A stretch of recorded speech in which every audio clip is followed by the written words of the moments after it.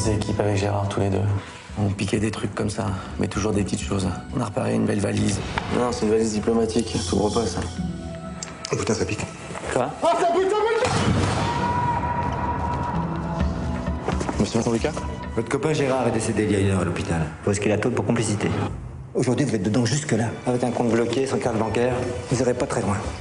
Qu'est-ce que vous avez contre moi Vous voulez me faire peur, c'est ça C'est un type qui est rentré chez moi pour me buter. C'est quoi ces conneries Vous avez mis le nez dans une histoire plutôt compliquée. Cette valise appartenait à un diplomate syrien. Dites-moi là, ces deux types que vous avez vus à l'aéroport, vous pourriez les reconnaître Oui, je pense, ouais. Mais je suis quoi maintenant euh, Un agent Vous regardez, vous écoutez, vous nous racontez. Vous partez ce soir pour Londres. We've established cover for you. This is fucking serious, you know. Peter Burton. His wife is French. We need to find out what Burton and his Syrian friends are up to. Here's Malik. He's our, our resident bachelor. Et sa femme? Vous avez une touche, Vincent? Bonjour. Bonjour. Faut gagner sa confiance, c'est tout. Vous habitez à Londres depuis longtemps Vous avez des J'ai enfants fait un accident de mariage. J'ai fui par J'ai fui par Vous avez jamais Faut que je te parle. Je travaille pour des gens qui veulent te poser des questions sur ton mari.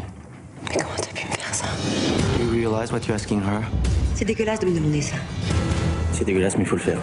I don't want any discussion about it. This is not a game. Stop this now. It's too dangerous.